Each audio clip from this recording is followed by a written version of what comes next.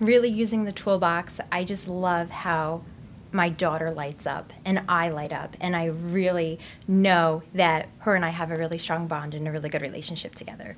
Um, the toolbox is a wonderful asset and it has really helped me change and it's going to continue changing with my relationship with my daughter. And I look forward to what else is in store for us.